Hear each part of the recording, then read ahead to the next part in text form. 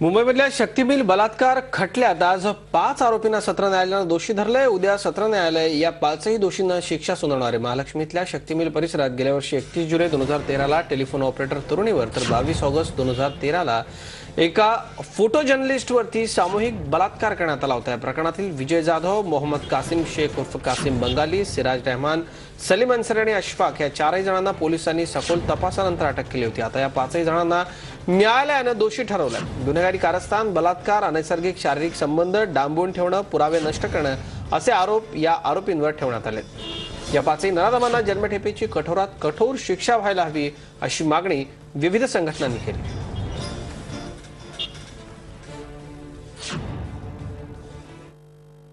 आज सन्माननीय न्यायालयाचा निकाल आला आहे त्यामुळं पीडित महिला आणि त्यांच्या कुटुंबियांना खरा न्याय मिळालेला आहे.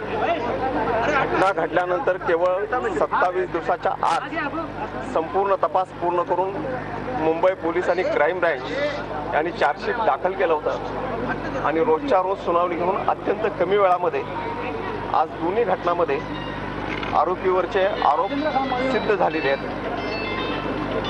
अत्यंत कमी वेळामध्ये पीडित कुटुंबियांना न्याय मिळाला पुन्हा वेळ झाली का छोट्याशा ब्रेकची कुठेही जाऊ नका पाहत राहा झी चोवीस तास.